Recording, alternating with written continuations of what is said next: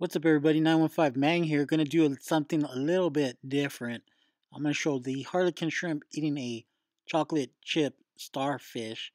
Uh, harlequin shrimp are necessary to get rid of pest starfish that like to eat zoas.